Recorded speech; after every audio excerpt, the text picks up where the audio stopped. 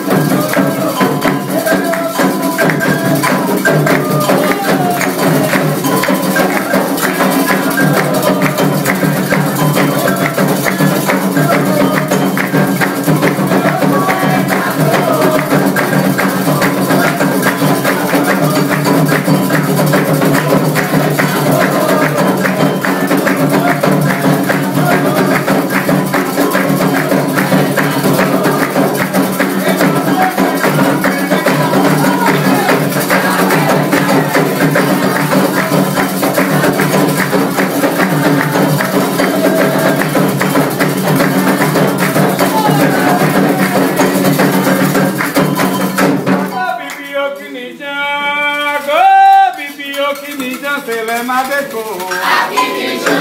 Happy